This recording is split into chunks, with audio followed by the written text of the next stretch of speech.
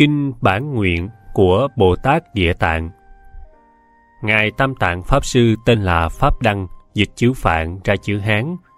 Ban hộ niệm Hội Việt Nam Phật giáo dịch chữ Hán ra chữ Việt.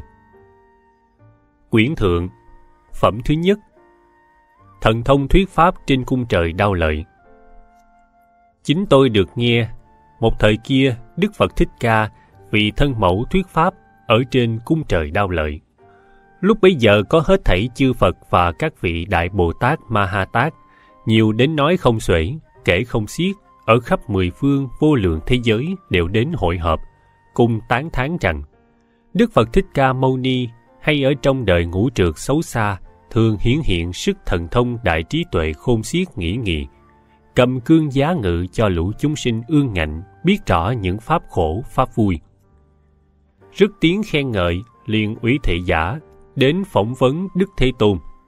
Lúc đó Như Lai mỉm cười, phóng ra trăm nghìn muôn án mây sáng sủa như án mây sáng sủa đại viên mãn, án mây sáng sủa đại trí tuệ, án mây sáng sủa đại tam mùi, án mây sáng sủa đại phúc đức, án mây sáng sủa đại quy y, án mây sáng sủa đại từ bi, án mây sáng sủa đại bát nhã, án mây sáng sủa đại cát tường, án mây sáng sủa đại công đức, án mây sáng sủa đại tán thán. Ngài phóng những án mây sáng sủa như thế, còn nhiều kể không xiết. Rồi Ngài lại nói những thứ tiếng tinh vi, màu nhiệm như tiếng đàn ba na la mật, tiếng thi la ba la mật, tiếng sàn đề ba la mật, tiếng tỳ ni gia ba la mật, tiếng thuyền na ba la mật, tiếng bát nhã ba la mật, tiếng từ bi, tiếng hỷ xả, tiếng giải thoát, tiếng vô lậu, tiếng trí tuệ, tiếng đại trí tuệ, tiếng sư tử gầm, tiếng sư tử lớn gầm, tiếng mây sấm, tiếng mây sấm lớn. Ngài nói ra còn nhiều những thứ tiếng như thế nói không xuể kể không xiết.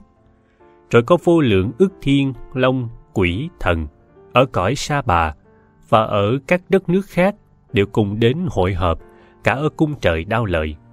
Các hàng thiên, long, quỷ, thần ấy đều là các vị ở những cõi trời.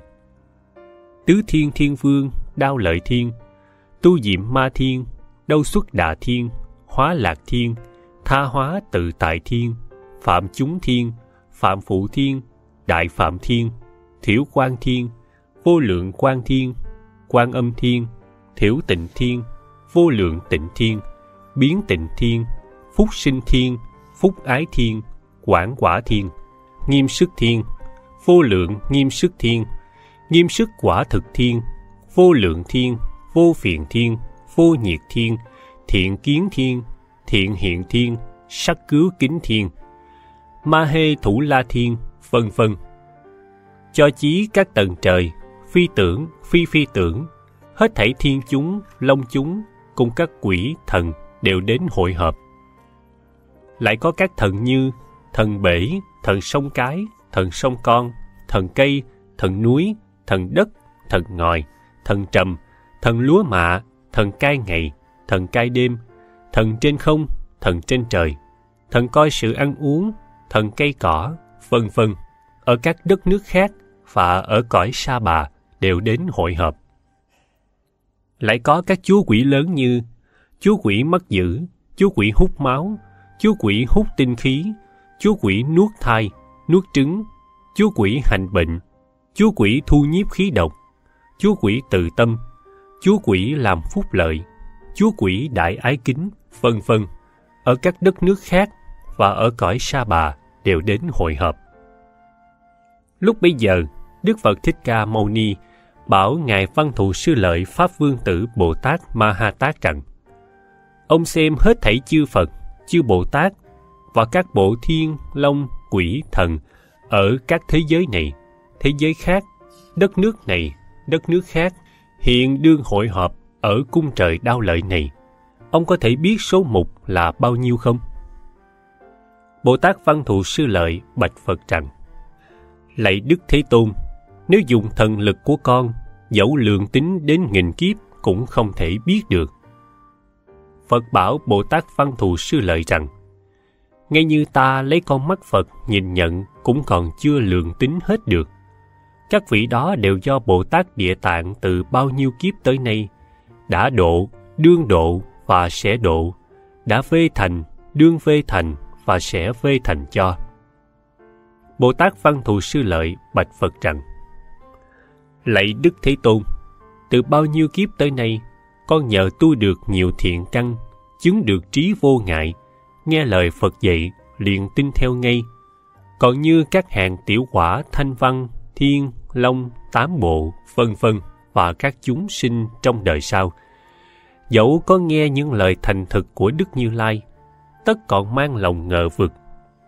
Ví dụ có rập đầu vân chịu đi nữa, cũng chưa dẹp khỏi được sự bán nhạo. Cuối xin Đức Thế Tôn chỉ rõ nhân địa tu hành của Đại Bồ Tát Địa Tạng đây làm hạnh gì, phát nguyện gì mà vây thành được những sự khôn xiết nghĩ nghị như thế. Phật bảo Bồ Tát Văn Thù Sư Lợi rằng Ví như tam thiên đại thiên thế giới, trong có bao nhiêu cây cỏ, rừng rậm, lúa vừng, tre, lau, núi, đá, bụi nhỏ, mà cho mỗi vật một số, mỗi số là một sông Hằng, mỗi hạt cát trong một sông Hằng là một thế giới. Trong một thế giới ấy, cho mỗi một mẩy bụi nhỏ là một kiếp. Cho hết số bụi nhỏ tính trong một kiếp ấy đều là một kiếp cả. Bồ Tát Địa Tạng từ khi chứng quả thập địa tới nay cũng đã nhiều gấp nghìn phần con số thí dụ kể trên. Huống là tính từ khi Bồ Tát Địa Tạng còn tu trong bậc thanh văn và bích chi Phật thì còn nhiều biết chừng nào. Này Bồ Tát Văn Thù Sư Lợi, uy thần thể nguyện của Bồ Tát ấy khôn xiết nghĩ nghị. Nếu đời sau này có thiện nam, thiện nữ nào nghe thấy tên Bồ Tát ấy mà tán thán, hoặc chiêm lễ, hoặc niệm danh hiệu, hoặc cúng dường, cho chí vẽ tranh, chạm khắc, sơn thép hình tượng, vân vân, thì người ấy sẽ được trăm lần sinh lên ở trong 33 cõi trời, không bao giờ phải đọa vào đường ác nữa. Này Bồ Tát Văn Thù Sư Lợi, không biết bao nhiêu kiếp đã qua, nói không xuể kể không xiết. Tiền thân của Bồ Tát Địa Tạng là con ông trưởng giả. Đời ấy có Đức Phật, hiệu là Sư tử phấn tấn cụ túc vạn hạnh như lai. Thời ấy con ông trưởng giả thấy tướng mạo Phật đầy đủ nghìn phút trang nghiêm tốt đẹp. Mới hỏi Đức Phật ấy, do hành nguyện gì mà được tướng tốt đẹp như thế?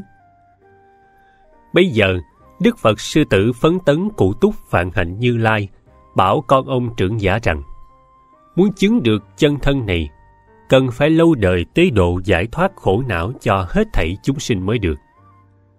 Này Bồ Tát Văn Thù Sư Lợi, nhân thế con ông trưởng giả liền phát nguyện rằng, con xin từ nay trở về sau, đời đời kiếp kiếp, dùng mọi phép phương tiện mà khuyên bảo các chúng sinh chịu khổ não trong sáu đường khiến cho họ được giải thoát hết, rồi con mới thành Phật đạo.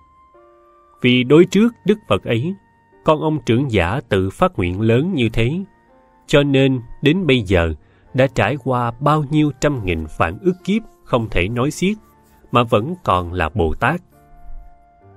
Lại còn một đời nữa, cách đây không biết bao nhiêu A Tăng kỳ kiếp, có Đức Phật hiệu là Giác Hoa Định Tự Tại Vương Như Lai, Ngài thọ đến 400.000 vạn ức A Tăng kỳ kiếp. Đến thời tượng Pháp, có một người con gái, dòng Bà La Môn, tích phúc sâu dày, ai cũng kính nể. Đi đứng nằm ngồi đều có chư thiên hộ vệ. Bà mẹ mê tín tà đạo, thường khinh tam bảo. Vị thánh nữ ấy đem hết nhời, phương tiện khuyên ngăn bà mẹ, khiến để phát sinh chính kiến. Nhưng mà bà mẹ chưa được tin hẳn, chẳng bao lâu đã chết, thần hồn sa đọa vào địa ngục vô gián. Bây giờ thánh nữ biết ngay, mẹ mình khi còn sống ở đời không tin nhân quả, nay chết đi tất phải tùy nghiệp mà sinh vào đường ác, Liên bán nhà cửa, mua nhiều hương hoa lễ vật đem lên các chùa và các tháp Phật làm đại lễ cúng dường. Đến một ngôi chùa, thấy pho tượng Đức Giác Hoa Định Tự Tại Vương Như Lai tô vẽ uy nghi trang nghiêm trực trở thánh nữ chiêm bái tôn dung càng thêm kính ngưỡng liền nghĩ rằng phật là bậc đại giác đầy đủ mọi trí nếu ngài còn tại thế sau khi mẹ ta mất đi ta còn có thể đến hỏi nơi ngài, tất được biết nơi mẹ ta bị đọa. Nghĩ đến đó, nước mắt chan hòa, chiêm ngưỡng chẳng rời tượng Phật. Bỗng nghe trên không có tiếng nói, Này thánh nữ đương khóc kia, đừng xót xa nữa, hãy nghe ta bảo nơi mẹ con bị đọa. Thánh nữ chắp tay hướng lên trên không mà bạch rằng, Chẳng hay đức thần nào đấy đến giải bớt tấm lòng lo âu cho con như thế. Từ khi mẹ con mất đến nay, ngày đêm thương nhớ, không biết đâu mà hỏi mẹ con thác sinh ở cõi nào. Ở trên không lại có tiếng bảo thánh nữ rằng, Ta đây là Phật quá khứ giác hoa định từ tại vương Như Lai mà con đương chiêm ngưỡng đó. Nay thấy con thiết tha nhớ mẹ gấp mấy thường tình, nên ta mới đến bảo cho con biết. Thánh nữ nghe nói liền ngã lăn ra, tay chân mình mẩy đều bị tổn thương.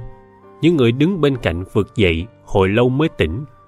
Hướng lên không mà khấn rằng, con nay sắp chết đến nơi, xin Phật từ mẫn bảo ngay cho con biết rõ mẹ con thác sinh ở cõi nào. Lúc bấy giờ, Đức Giác Hoa Định từ tại Vương Như Lai bảo thánh nữ rằng Con cúng dàn xong, sớm quay về nhà, ngồi nghiêm chỉnh, niệm danh hiệu ta thì sẽ biết nơi mẹ con thác sinh. Sau khi lễ Phật, thánh nữ về ngay nhà. Vì tha thiết nhớ mẹ nên ngồi yên lặng niệm danh hiệu Đức Giác Hoa Định tự tại Vương Như Lai suốt một ngày một đêm. Bỗng nhiên thấy tự mình đến một bờ bể. Nước sôi sùng sục, thú dữ rất nhiều, thân thể đều bằng sắt, bay nhảy trên mặt bể. Dông bên đông, đuổi bên tây, thấy hàng trăm, nghìn, vạn đàn ông, đàn bà, khi chìm khi nổi, bị thú dữ tranh nhau ăn thịt. Lại thấy quỷ dạ xoa hình dạng khác nhau, hoặc nhiều tay nhiều mắt, nhiều chân, nhiều đầu, răng chìa ra ngoài, sắc nhọn như gươm. Lùa những tội nhân đến gần thú dữ cho chúng vồ bắt, vơ trúm cả chân lẫn đầu. Muôn hình phản cách không nở nhìn lâu. Bây giờ, thánh nữ nhờ sức niệm Phật cho nên tự nhiên không sợ hãi. Có một quỷ vương tên là Vô Độc cúi đầu nghinh tiếp, nói với thánh nữ rằng Quý hóa thầy, Bồ Tát vì duyên gì mà lại đến đây?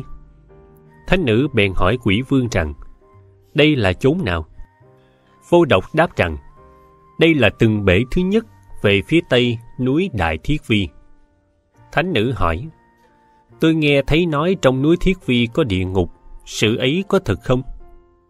Vô Độc đáp quả có địa ngục. Thánh nữ nói, tôi phải làm thế nào để vào được địa ngục? Vô độc đáp, nếu chẳng có uy thần tất phải theo nghiệp lực, trừ hai sự ấy thì chẳng bao giờ vào được. Thánh nữ hỏi, vì làm sao trong nước nóng sôi này lại có nhiều tội nhân và nhiều thú dữ như thế? Vô độc đáp, đây là chúng sinh làm ác ở cõi Nam Diêm Phù Đề.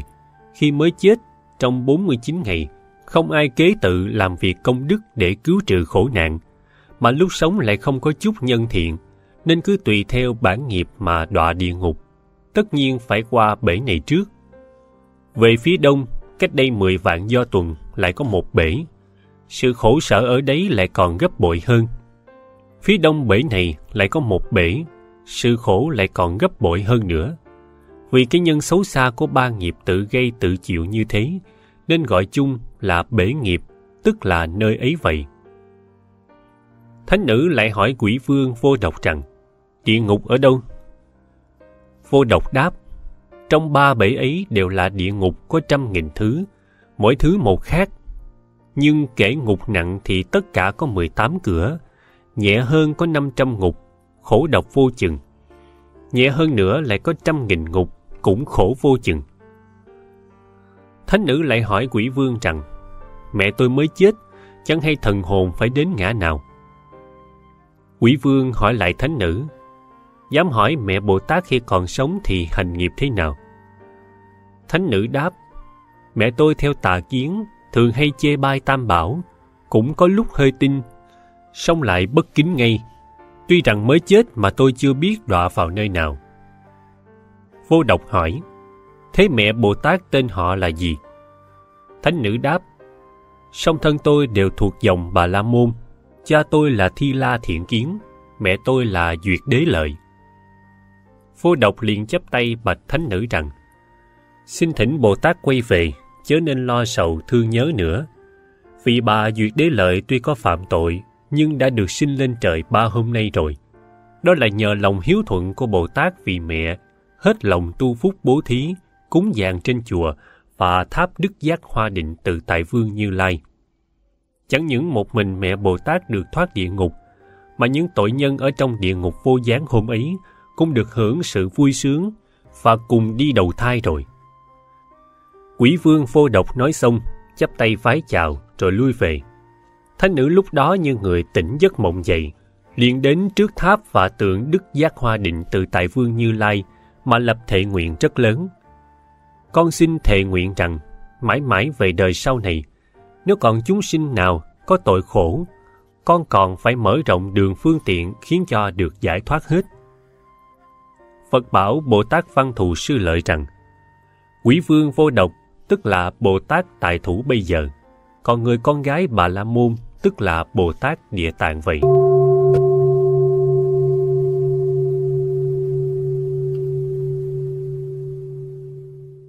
Kinh Bản Nguyện của Bồ Tát Địa Tạng phẩm thứ hai. Phân thân hội hợp. Khi bây giờ có các phân thân của Bồ Tát Địa Tạng ở những nơi có địa ngục trong trăm nghìn ức vô lượng A Tăng kỳ thế giới không thể nghĩ nghị, không thể lượng nói xiết, đều lại hội hợp cả ở cung trời đau lợi. Nhờ có sức thần của Đức Như Lai, các phần thân ấy cùng với các vị đã được giải thoát, tùy theo các phương diện ở đường nghiệp báo ra, kẻ có đến hàng nghìn na do tha, cùng cầm hương hoa lại cúng dường Phật. Những bọn cùng lại ấy đều nhờ Bồ Tát Địa Tạng giáo hóa không bao giờ còn thoái chuyển đạo vô thượng chính đẳng chính giác. Những bọn ấy đã từ bao nhiêu kiếp tới nay trôi dạt trong bể sinh tử, chịu khổ trong sáu ngã luân hồi, không được ngơi nghỉ phút nào. Nhờ lòng từ bi trọng lớn cùng bản nguyện sâu dày của Bồ Tát Địa Tạng, nên đều được chứng quả. Khi đến cung trời đau lợi, ai nấy lòng vui hớn hở chiêm ngưỡng Đức Như Lai, không hề chán mắt. Lúc bấy giờ, Đức Thế Tôn giơ cánh tay sắc vàng làm phép xoa đầu trăm nghìn vạn ức hóa thân của Bồ Tát Địa Tạng ở vô lượng A Tăng Kỳ thế giới, không thể nghĩ nghị, không thể lượng nói xiết, mà bảo rằng Ta ở cõi đời ngũ trượt xấu xa, giáo hóa những chúng sinh ương ngạnh như thế, khiến cho lòng đều phục, bỏ tà theo chính. Mười phần chỉ còn độ một hai phần còn giữ thói ác, ta cũng phân thân ra làm hàng trăm nghìn vạn ức hóa thân, mở rộng đường phương tiện. Hoặc có kẻ lợi căn, nghe liền tin theo, hoặc có thiện quả chăm khuyên bảo cũng thành tựu, hoặc có kẻ ngu độn, dạy dỗ lâu rồi mới tin theo, hoặc có kẻ nặng nghiệp, chẳng sinh lòng kính ngưỡng. Những bọn chúng sinh ấy thấy đều khác nhau, ta đều phân thân, độ cho giải thoát, hoặc hiện ra thân đàn ông, hoặc hiện ra thân đàn bà, hoặc hiện ra các thân thiên, long, quỷ, thần, hoặc hiện ra núi, rừng, nguồn, suối, sông cái, sông con, ao, giếng, vân vân để lợi ích cho người, đều được độ giải thoát. Hoặc hiện các thân như thiên đế phạm vương, chuyển luân vương, cư sĩ quốc vương, tể phụ, quan lại, tỷ khưu, tỷ khưu ni, ưu bà tắc, ưu bà di, cho đến các thân thanh văn, la hán, bích chi Phật và Bồ Tát mà giáo hóa tế độ chúng sinh. Chẳng phải chỉ hiện có một thân Phật này ở trước mặt các ông mà thôi đâu. Các ông hãy quán rõ, ta từ bao nhiêu kiếp cần khổ độ thoát những chúng sinh khổ não, ương ngạnh, khó dạy như thế. Nếu còn có kẻ chưa điều phục được, gieo nghiệp báo ứng khi sa vào ngã ác phải chịu cực khổ. Các ông nên tưởng nhớ đến lời ta, ân cần phó chúc ở trên cung trời đau lợi, khiến cho các chúng sinh ở cõi sa bà, đến khi Bồ Tát Di Lặc ra đời, đều được giải thoát hẳn những nỗi khổ và được Phật thụ ký cho. Bây giờ các hóa thân của Bồ Tát Địa Tạng ở các thế giới đều hợp thành một hình, rớt nước mắt tỏ lòng thương mến mà bạch Phật rằng Con từ bao nhiêu kiếp tới nay nhờ ơn Phật tiếp dẫn, khiến cho con được thần lực không thể nghĩ nghị, trí tuệ lớn đầy đủ, nên con phân thân khắp các thế giới, nhiều như số cát trăm nghìn vạn ước sông Hằng. Mỗi một thế giới hóa trăm nghìn vạn ức thân, mỗi một thân độ trăm nghìn vạn người, khiến cho đều quy kính tam bảo, lìa hẳn sinh tử, chứng vui niết bàn. Dù ai chỉ làm được việc thiện nhỏ như sợi tóc, giọt nước, hạt cát, mấy bụi hoặc nhỏ hơn nữa, con cũng dần dần tế độ cho giải thoát, được hưởng lợi lớn. Bồ Tát Địa Tạng lại bạch Phật ba lần rằng Kính xin Đức Thế Tôn đừng bận tâm đến các chúng sinh ác nghiệp về đời sau này. Khi bấy giờ, Phật bèn khen ngợi Bồ Tát Địa Tạng rằng Hay thay, hay lắm thay, ta mừng thêm cho ông. Ông làm xong được cái nguyện lớn, từ bao nhiêu kiếp tới nay, độ hết chúng sinh, tức chứng đạo Bồ Đề vậy.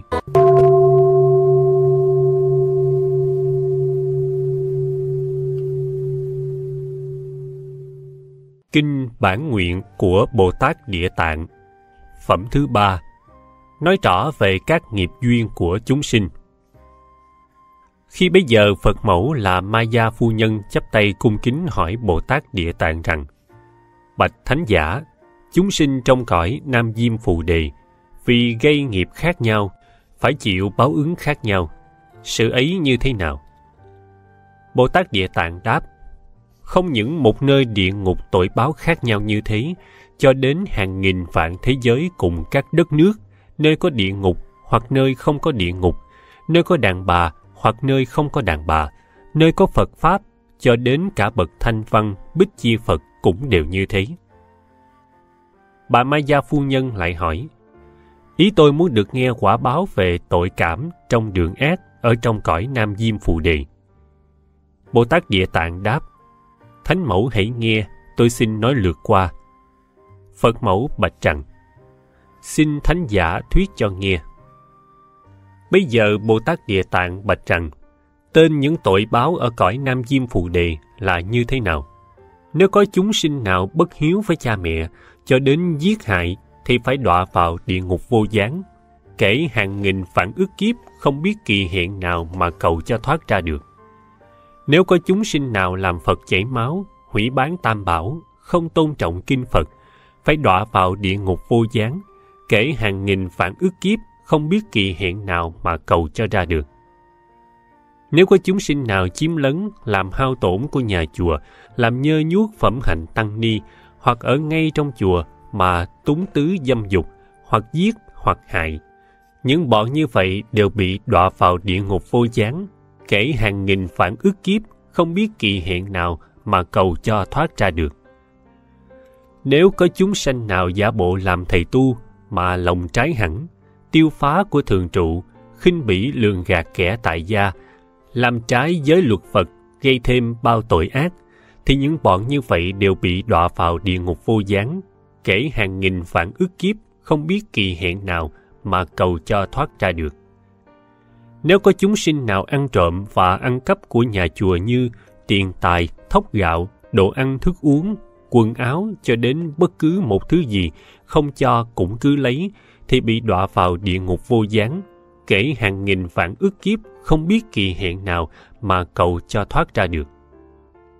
Bồ Tát Địa Tạng bạch rằng Thưa Thánh Mẫu, nếu có chúng sinh nào đã làm những tội như thế, ắt phải đọa vào năm địa ngục vô gián cầu tạm ngớt chịu khổ một phút cũng không được. Phật mẫu lại hỏi Bồ Tát Địa Tạng rằng, vì sao gọi là địa ngục vô gián? Bồ Tát Địa Tạng đáp rằng, Thưa Thánh Mẫu, nội các địa ngục đều ở trong núi Đại Thiết Phi cả.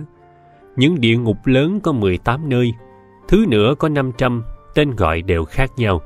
Thứ nữa lại có 1.000, tên gọi cũng khác nhau. Ngục vô gián là cái ngục có thành toàn bằng sắt, cao một vạn dặm, chu vi hơn tám vạn dặm. Trên mặt thành, lúc nào lửa cũng cháy ngùng ngục không chỗ nào khuyết. Trong thành, các ngục đều nối liền nhau, mà tên thì khác nhau. Chỉ có một ngục gọi là vô gián, ngục ấy chu vi một vạn tám nghìn dặm. Tường ngục cao một nghìn dặm toàn bằng sắt. Ở trên, lửa cháy phun xuống, ở dưới, lửa cháy bốc lên trắng sắt, chó sắt, phun lửa đuổi nhau ở trên tường ngục, chạy khắp đông tây, vân vân. trong ngục có cái giường biến hiện trọng hàng muôn dặm. Một người có tội thấy mình nằm chật cả giường, mà nghìn vạn người nằm cũng đều thấy nằm chật cả giường. Vì những nghiệp cảm nên chịu quả báo như thế. Lại còn những tội nhân phải chịu đủ những tội khổ như có trăm nghìn quỷ dạ xoa cùng lũ quỷ ác trăng nhọn như gươm, mắt sáng như chớp, móng tay bằng đồng, móc ruột sâu xé. Lại có quỷ dạ xoa cầm cây kích sắt lớn, đâm vào mình người có tội, hoặc đâm vào mồm, vào mũi, vào bụng, vào lưng, tung lên trên không hoặc ném xuống giường, rồi lại đâm tiếp. Lại có giống chim cắt bằng sắt moi mắt người có tội, lại có giống trắng sắt quấn lên đầu người có tội, hoặc mình mẩy chân tay đều bị đóng đinh suốt xuống, lưỡi bị kéo ra để cày vào, lôi kéo đi lại, đổ nước đồng sôi vào miệng, sắt nung áp vào mình, chết đi sống lại có hàng vạn lần. Các nghiệp báo như thế trải hạn ước kiếp không biết kỳ hẹn nào mà cầu cho thoát ra được. Đến khi thế giới này hoại, chuyển sang thế giới khác. Khi thế giới ấy lại hoại thì lại chuyển sang thế giới phương khác. Thế giới phương ấy lại hoại nữa thì lại lần lượt mà chuyển đi, cho đến sau khi thế giới cũ lại thành lập thì còn phải quay về chịu báo nữa. Những sự tội báo trong ngục vô gián như thế. Lại nữa, vì có năm sự nghiệp cảm nên gọi là vô gián. Những gì là năm? Một là ngày đêm chịu tội cho đến bao kiếp không hề gián đoạn, nên gọi là vô gián. Hai là một người nằm cúng chật, có nhiều người nằm cúng chật nên gọi là vô gián. Ba là những độ hành tội như giáo, côn, chim sắt, rắn, chó sói, chó thường, cối xay, cối giả, cưa, đục, chẻ, xả, vạt dầu, lưới sắt, lửa sắt, ngựa sắt, da sống bó đầu, sắt nóng dội vào mình, đói ăn viên sắt, khát uống nước sắt, quanh năm suốt đời kể số vạn vạn khổ sở, liền liền không hề gián đoạn, nên gọi là vô gián. Bốn là bất luận đàn ông, đàn bà, thổ mán mọi trợ, già trẻ sang hiền, hoặc thiên long quỷ thần đã gây ra tội tất phải theo nghiệp mà chịu như nhau, cho nên gọi là vô gián. Năm là nếu phải đọa vào ngục ấy, từ khi mới vào cho đến trăm nghìn kiếp, trong một ngày một đêm vạn lần chết đi sống lại, cầu xin tạm ngơi một phút cũng không được. Trừ ra khi nào nghiệp tiêu hết mới đầu thai, vì cứ liên miên như vậy nên gọi là vô gián. Bồ Tát Địa Tạng Bạch Thánh Mẫu Tôi mới nói lượt qua về địa ngục vô gián như thế. Nếu còn nói rộng thêm tên các khí cụ để hành tội và những sự khổ sở trong đó thì nói suốt một kiếp cũng không hết được. Mai gia phu nhân nghe rồi, trong lòng áo não, chắp tay đính lễ mà lui.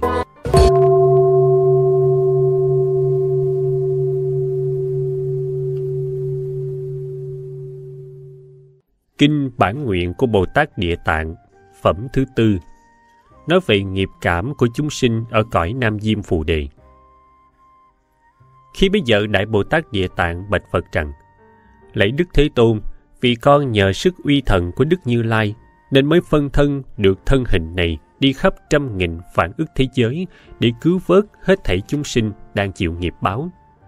Nếu không có sức đại từ của Đức Như Lai thì không tài nào biến hóa được như thế.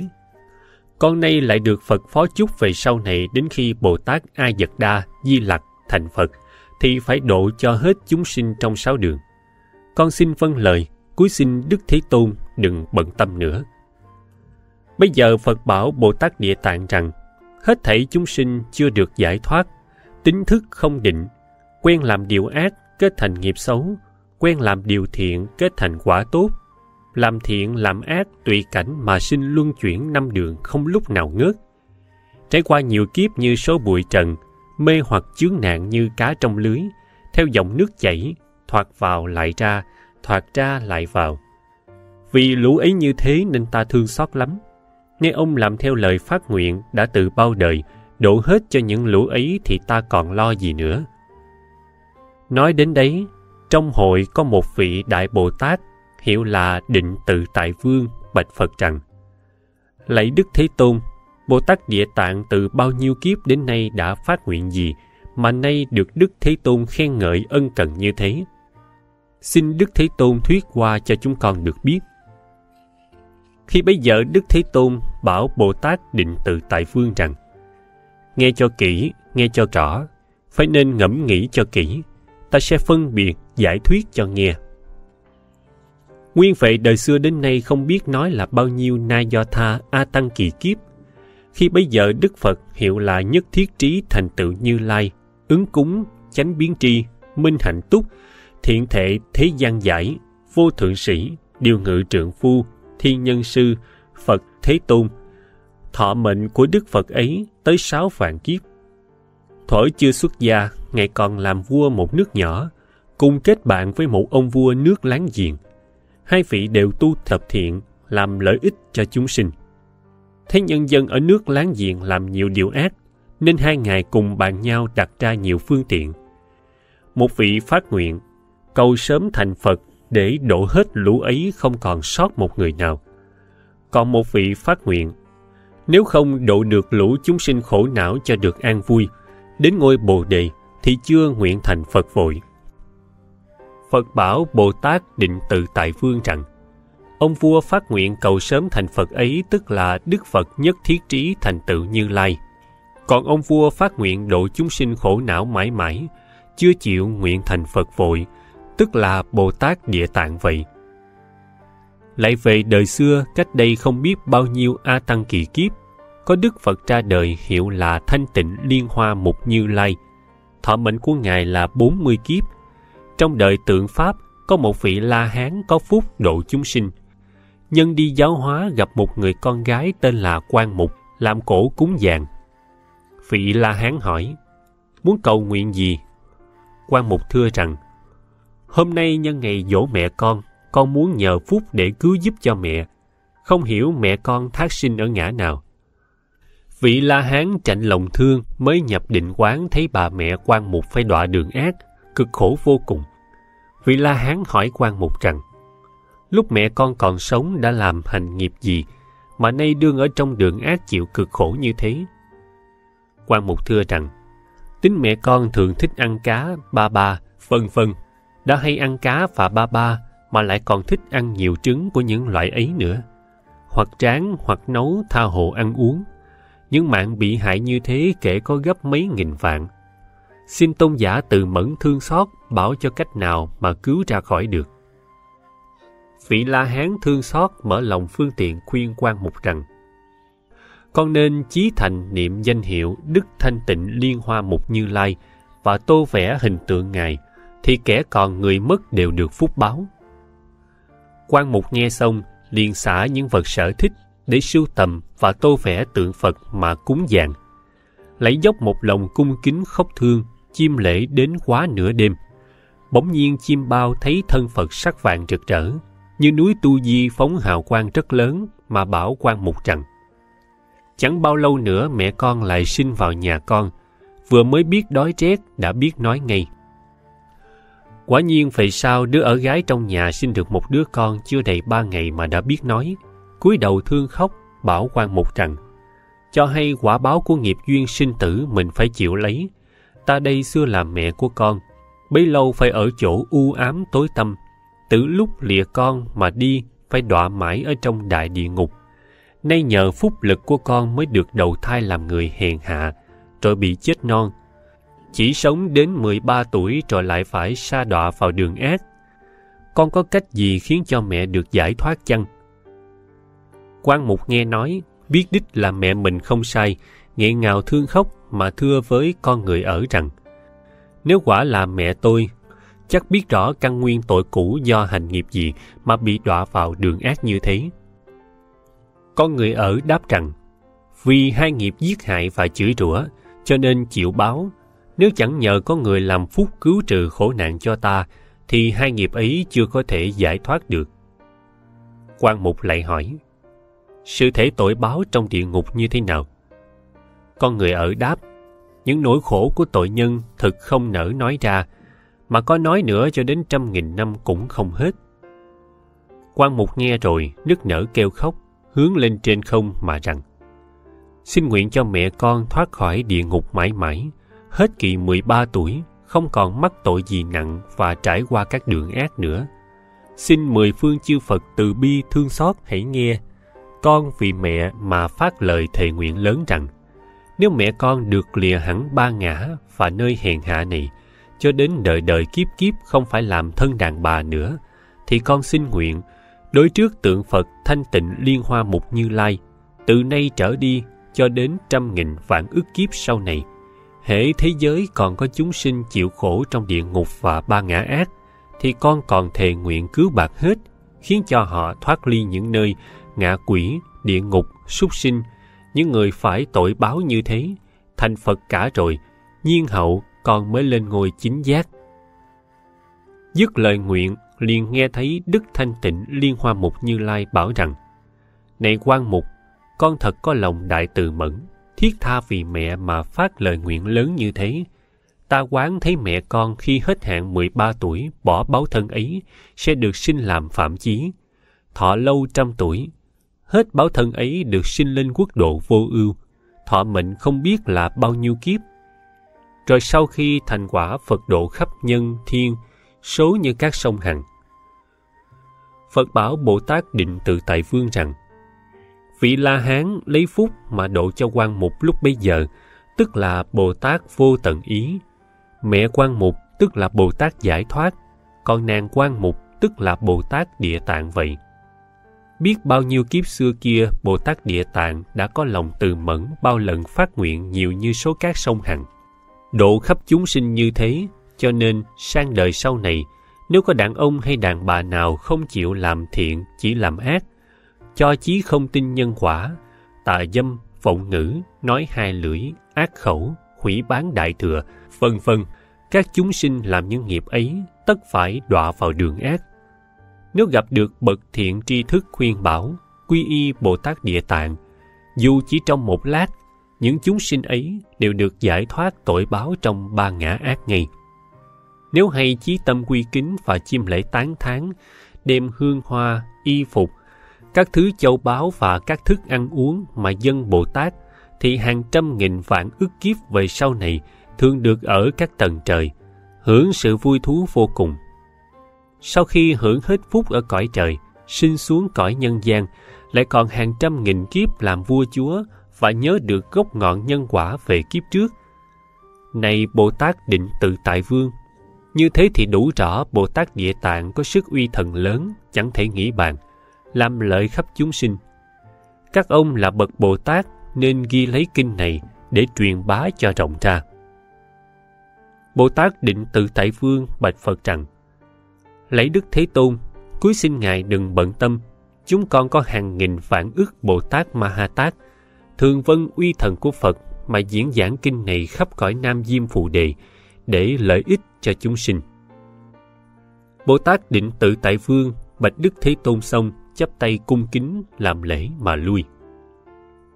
Khi bấy giờ có bốn vị thiên vương coi bốn phương, ở tòa ngồi cùng đứng dậy chắp tay cung kính mà bạch phật rằng lạy đức thế tôn, bồ tát địa tạng từ bao nhiêu kiếp đến nay đã từng phát nguyện lớn, làm sao đến bây giờ vẫn chưa độ hết chúng sinh?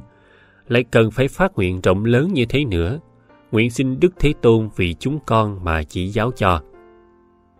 Phật bảo bốn vị thiên vương, hay thay, hay lắm thay, ta nay vì các ông cùng các trời người ở đời này và đời sau mở rộng đường lợi ích mà nói những sự phương tiện của Bồ Tát Địa Tạng đã thương xót, cứu bạc độ thoát cho hết thảy chúng sinh khổ não trong đường sinh tử, ở cõi Nam Diêm Phù Đề trong thế giới Sa Bà.